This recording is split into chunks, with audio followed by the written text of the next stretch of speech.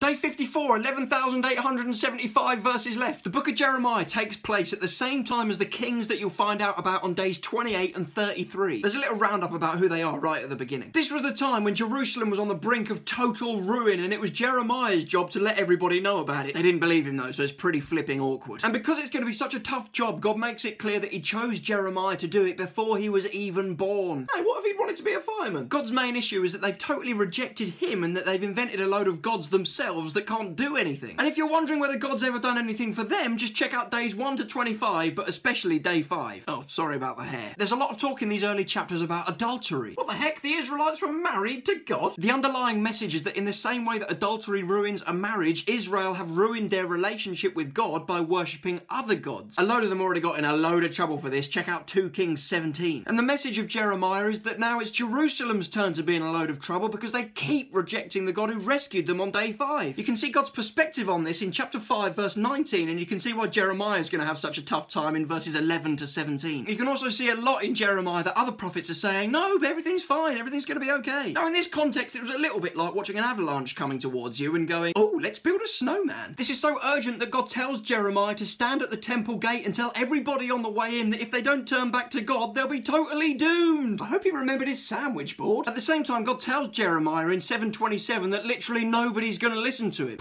You might as well have built a snowman after all. Other prophets are still banging on about peace in chapter 8, but in chapter 9 you actually come across the Grim Reaper. God tries to warn them that Jerusalem is going to become a heap of ruins because they've turned away from his law, but they just don't seem to care. At the end of chapter 9 it looks like there was no point them getting rid of their foreskins, but they should have had open heart surgery instead. What the heck? Chapter 10 is all about the futility of trusting in idols and Jeremiah asks God for guidance as he carries on. Tune in tomorrow for a big party pooper.